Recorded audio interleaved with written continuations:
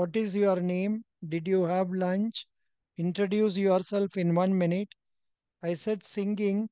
Then they were laughing. We want you to sing, but at present we don't have time. Then they heard I am an actor. Then they said, See, actor came to our panel. All were laughing. Soumya, you are highly qualified RRB PO is a small job for you. You could have become agriculture field officer or extension officer.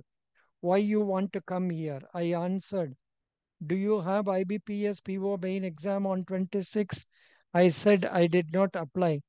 Chairman, tell me about RRBs. I answered, What is financial inclusion?